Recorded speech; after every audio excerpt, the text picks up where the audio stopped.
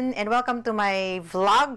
This is the first time I'm going to do this. I'm going to cook for you guys today. So, bago ang lahat, I would like to invite you to please like my Facebook page and also I have an Instagram account that you can follow and of course I also have my Twitter account. You can also find me sa Kumu and Laika. Now, balik na tayo. Kuha ko tong recipe na to while browsing sa internet. Ginawa kasi to sa ibang bansa, itong recipe ito. And I thought na maybe I can do this, you know. Um, Mukhang madali naman kasi siyang gawin. Ang naging problema ko lang ay hanapin yung mga ingredients na wala dito since to ay uh, ginawa sa ibang bansa. Pero kahit ganun, may ginawa naman ako, ginawan ko naman siya ng paraan.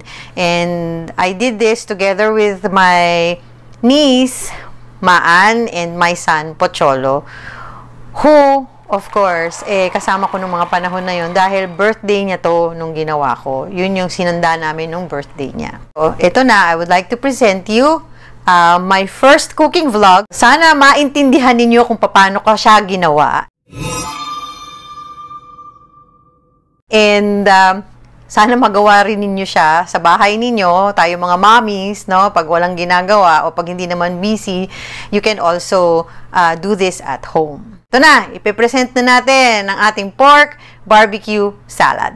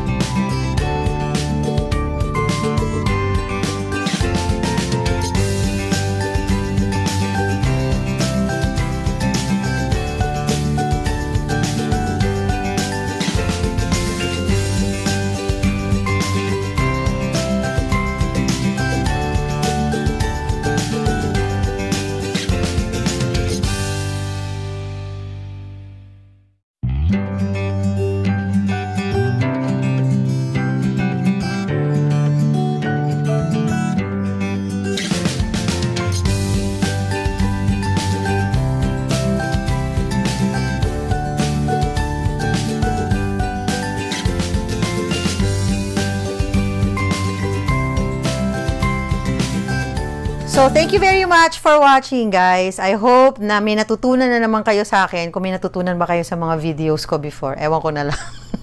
And next time, I'm going to try to cook more dishes for you guys. I'm going to try everything. You know how mamas are. Siyempre, ganun talaga pag may gusto tayong ihanda sa ating mga babies o ang ating pamilya. So again, thank you very much for watching. Don't forget to subscribe ha. Don't forget to click subscribe dito sa aking YouTube channel. And if you guys have any suggestions na gusto ninyong gawin kong video, I'm open for suggestions. So yun. Okay? So thank you very much for watching. Bye!